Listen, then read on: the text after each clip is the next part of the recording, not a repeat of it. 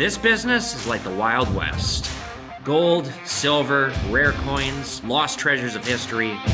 You never know what's gonna walk through that door. Oh, whoa! There's a Civil War sword. I got robbed at gunpoint. Watch this. I'm Evan Kale, and this is Pawn Man.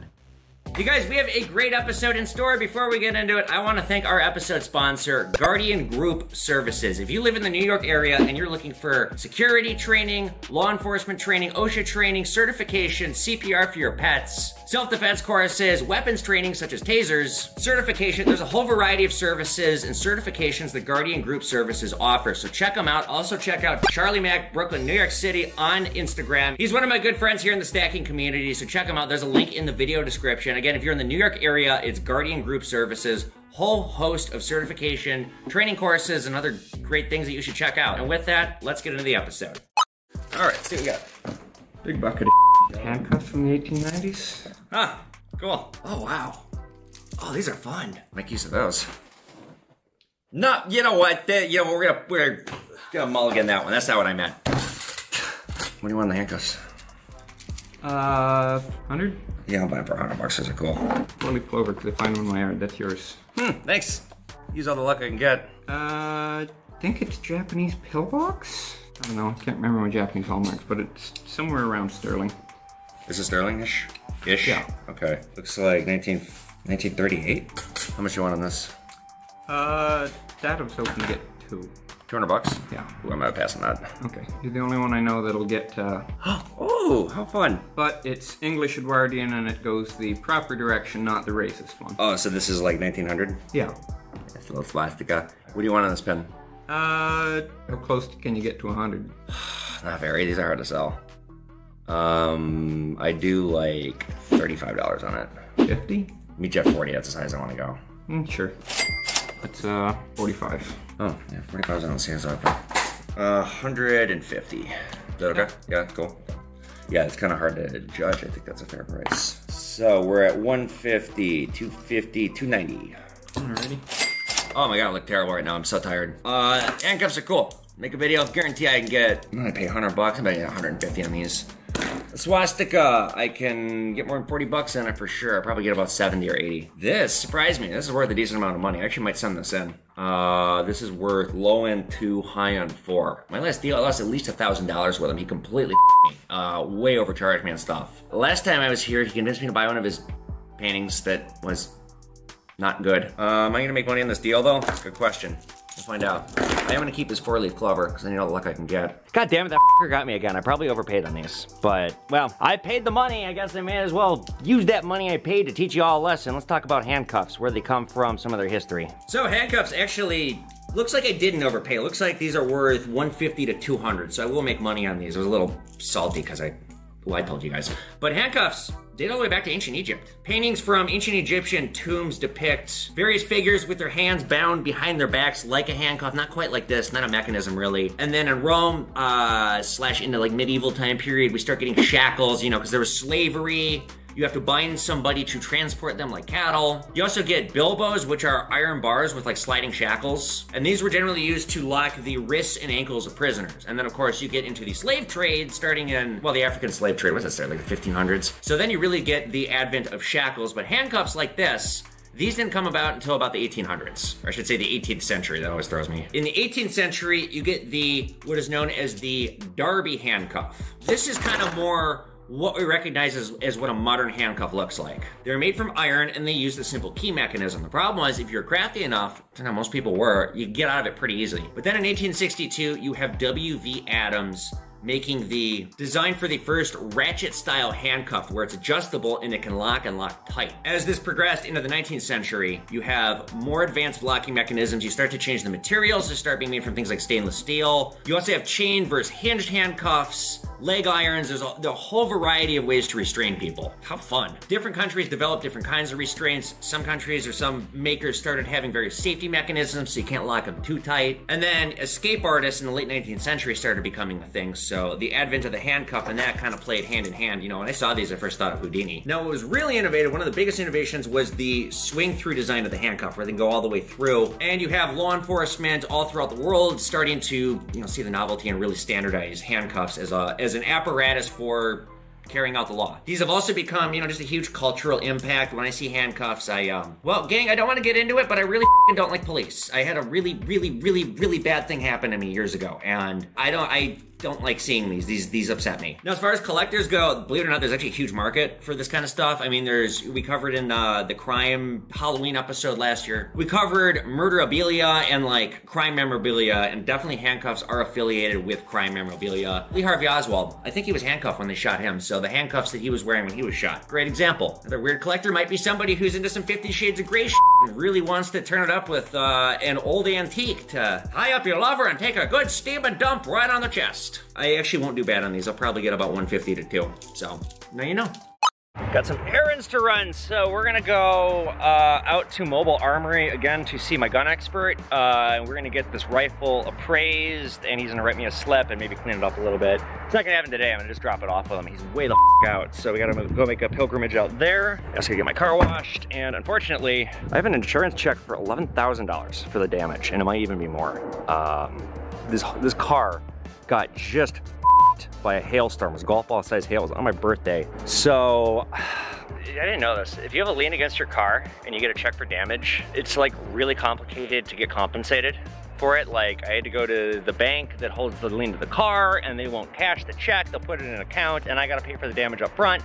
And then they'll release the money to me. And it's like, I don't have $12,000 to blow on damage up front and waiting to get reimbursed. That'll wipe me out. So it's gonna be such a pain in the ass that I might just sell this car back and just get a new car. So I don't know, I'll see what they offer me. And I guess from there, we go get the gun checked out. Uh, congratulations to Steph and Spencer, my great friends. I was uh, basically Steph's maid of honor. Um, she's one of my best friends.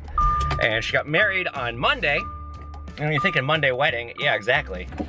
So Monday wedding, wasn't here Monday, turned into partying all night, and then I crawled out of bed on Tuesday, met up for brunch, that turned into Bender day two, and the party just kept going. Yeah, so then it turned into day three, like all day yesterday, I was basically just drowning in a bottle having fun. And then I like couldn't take anymore, and I went home at 8.30, and I slept until 10 this morning. And now I'm like, anything on there? Just the liquor swimming around in there. So, boy, it was fun. Congratulations, Steph Spencer.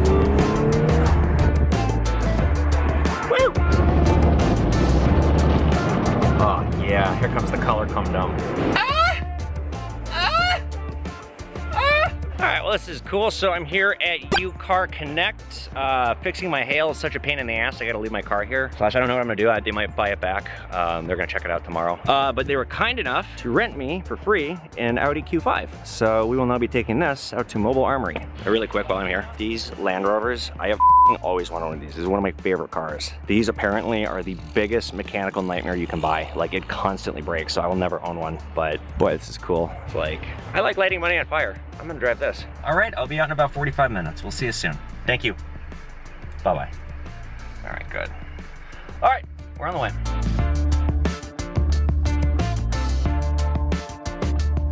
All right, here we are. Boy, it is busy today. I'm gonna just park on the grass. Park here, put the old hazards on. Hazards mean I can park anywhere the I want, right? I had no idea. There's like a fundraiser going on, so it's like really, really, really busy here. So I'm gonna drop this off and get out of here. All right, so we're getting out of here. I'm gonna, I was gonna eat at the restaurant here, but it's like way too busy inside, so I'm gonna stop somewhere on the way back. I'm Unbelievable, this is where I'm stopping. Now, I, oh, they have Pokemon toys? I realized I haven't eaten in about two days.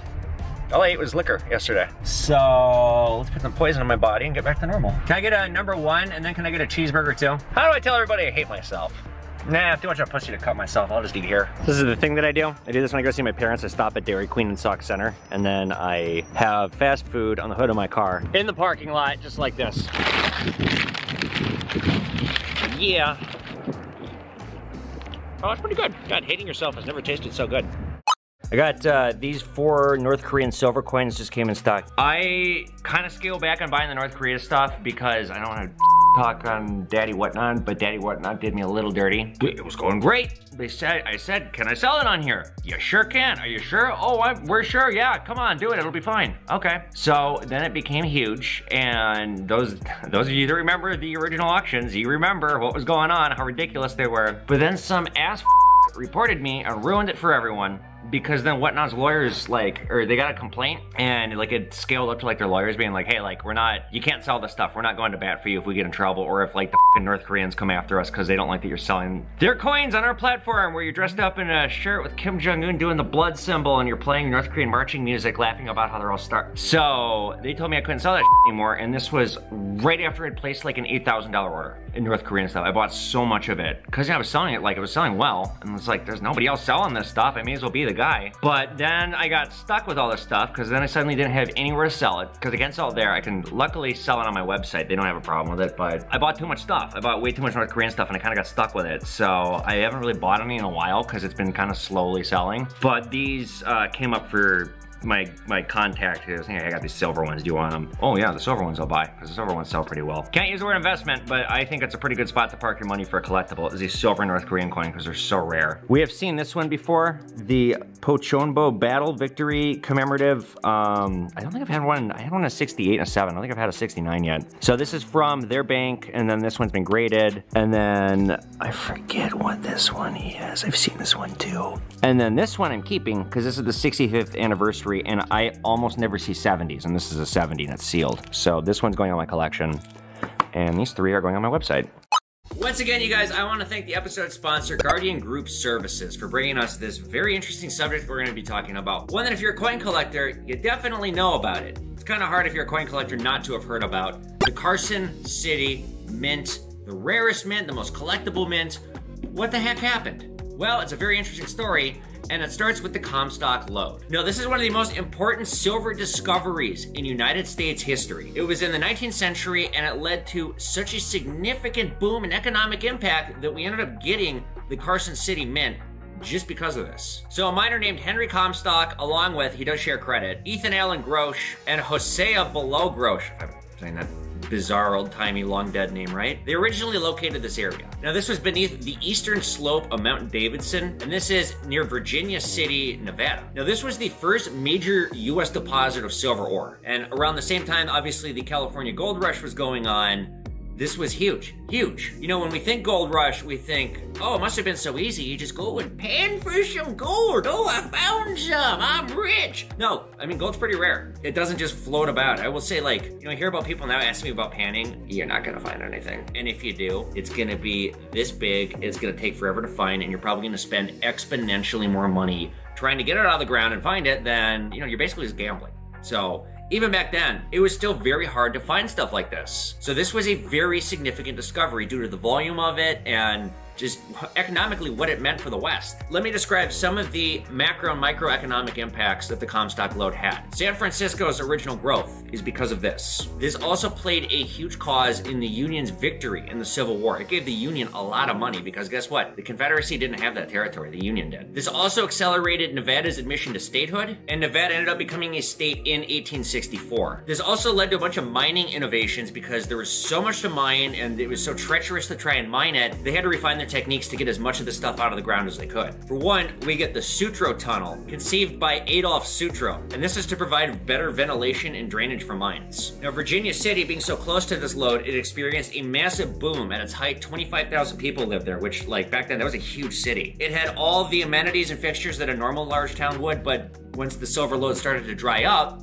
so too did the town and everything around it. By the 1880s, the boom was over, the population moved on, California was getting more popular, people were moving out there. But between 1859 and 1882, the Comstock lode in 19th century dollars was about 400 million. Now, adjusted for inflation, that's like 12 and a half billion dollars. And another fun fact, Mark Twain spent a lot of time in Virginia City, and this was a huge influence on his life and career. Virginia City today is a historic landmark, but again, we're not even talking about that. The Comstock lode is why we got the Carson City Mint, and that's what we're talking about. This mint only made coins for 21 years. Despite opening in 1863, it actually took years to get a single coin out. 1870 to 1885 was the first run of the coins from the Carson City Mint, and the second run came from 1889 to 1893. Now, there's a few things that set this mint apart. Number one, it has two mint mark letters, the CC. And as a coin dealer and just person in this business and collector, every time I see those two C's, even if it's on a beat up coin, I get excited. It's like finding a holograph Pokemon in a deck. Now, this mint is also interesting because it did not mint any clad coins. It only minted silver and some gold coins. And that was due to, again, the Comstock lode being right there so they could take the raw silver out of the ground. Don't have to transport across the country. They don't have to worry about getting robbed, train robberies, etc.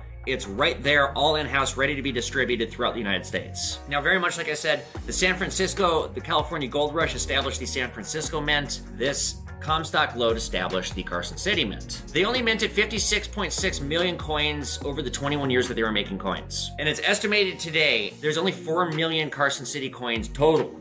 Total. All the coins they made. There's only 4 million of them left. But who knows? It might be less. It could be more. Probably not. Just to give you an idea, in 2020, which was a disaster year for the Mint, you know, the Mint had to shut down for half the year. They made 30 million Silver Eagles in one year. Now, it's also kind of not fair because the manufacturing process is a lot quicker now. But still, the Mint itself, like I said, established in 1863. It was an act of Congress that established it. The Mint's original building, you can go visit it actually. It's still standing. It's a museum now. Uh, it is privately owned by the state of Nevada. It was purchased in 1939 for $10,000. And like I said, I'd love to go there. If anyone who works there is watching this, I'd love to come out and do a video. It sounds like a lot of fun. After the Mint closed in 1893, the building continued to serve as a United States Assay Office. The formal Mint status, although the Mint stopped making coins in 1893, it took six more years for the official Mint status of it to be removed. So what exactly does drive up the price of these Carson cities? Is it just their rarity? Well, no, I think there's a little bit more to it. I think it is the romanticizing of the Wild West. When we see the Carson City Mint, we think Wild West. We think, uh, you know, the gunslinging cowboy, the romantic American dream of, of what we picture that time period to be. And when we see those two C's, we associate the two. And between the rarity and just the fact that this mint is such a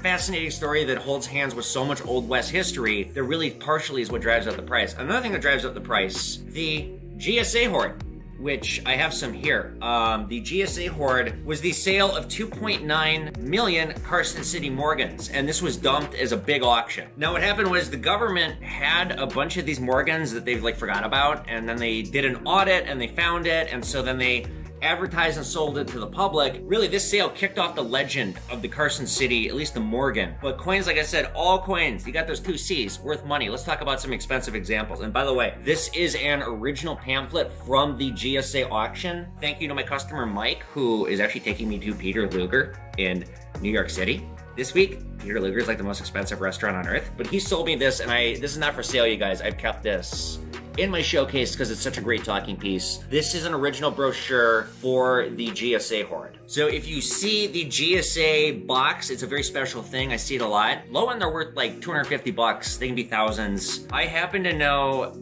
the guy who has literally the largest GSA Morgan collection on earth. I've never seen it. I've seen pictures of it. He's probably got about $10 million collection. He's got so many of them. They used to not be that expensive, but they've just been taken off lately. So one of the top three most valuable Morgan silver dollars does come from this mint. It's an 1889 CC Morgan. It's valued at about 300K. But like the top 20 list of the most expensive American coins, most of them, or a lot of them, are coming from this mint, from this time period. 1876 Carson City 20 cent piece. 20 cent pieces are very rare. We haven't, actually I don't think we've covered them on here yet. We will. They didn't make them for long. Last I saw, one of those went for $207,000. An 1870 $20 gold coin one for 1.62 million, and an 1873 no arrows dime. There's only one example known. It's a three plus million dollar coin. So like I said, you see those C's, even a dog one, even a dog one, at least on a Morgan's $100. There have been efforts to make these Carson City coins again. The 2021 Morgan slash Peace Dollar restrikes where they remade them out of pure silver instead of 90% as a commemorative for the 100 years since the last year of the Morgan dollar, because 21 was the last year, 1921. Even though that has two CCs on the back, that was not actually struck there. Like I said, I would love to go tour this mint. Uh, again, I like kind of low-key hope somebody who works there is watching this and wants to reach out and invite me, because I'd love to come. Couple other interesting facts before we close out about the Carson City Mint. A lot of Morgans were never circulated. They were struck at this mint and they were stuck away in treasury vaults. This was what was discovered in the GSA hoard. So believe it or not, there's a lot of Morgans out there that are uncirculated that are Carson City. I will quickly tell you guys, quick warning, and I didn't really want to get too much into this because I didn't want to go off the rails. Absolutely weigh every single Carson City you come across because they are faked uh, a lot. I do see them faked. Trade dollars in particular, I don't believe I've ever seen a real Carson City trade dollar. Every time I've come across them, they are fake. I've been, in fact, we've seen it here on YouTube. I've been burned on them. So you see anything that's got those two C's, Number one, weigh it, make sure it weighs right. They make all coins the same. It's a standardized process, so the weight's gonna be the same. Even if there's a lot worn off, there shouldn't be that much differentiation. And use a loupe look close at those two C's. People glue them on sometimes, I'm serious. Two more fun, interesting facts. One of the coin presses used at the mint, coin press number one, it still works. It's one of the only ones that exist that still works. Uh, like I said, on display at this museum. And we'll close with a little bit of true crime. James Crawford, who served as a mint superintendent from 1874 to 1885, was murdered. Still a mystery. They don't know what happened to him. How's that for fun? Unless your name is James. And that's the magic of the Carson City Mint. Remember when you see two C's stamped on a coin. I completely failed at that. Just a thing about how I got C's stamped on my ass, but they're not super glued on. They're just made of cum. All right, you guys, well, just like that, it's the end of the video. If you guys like this channel, please be sure to subscribe, hit the like button. Again, check out Guardian Group Services if you're in the New York area. They offer certification, everything from OSHA training, weapons training, self-defense, pet CPR, whether it be an old skill or you're picking up a new one, check out Guardian Group Services. Get my books on Amazon. Again, you guys, please subscribe and follow. If you like what I do, consider becoming a Patreon here or sponsoring an episode. I could use all the help I can get. Spread the word of these videos. I could use more views. Share them across social media. If you have suggestions for episodes, I'm kind of only taking them from Patreons right now, but I'm always down for new ideas, so let me know, and I'll see you guys back here for another great episode of Pawn Man. Later, guys.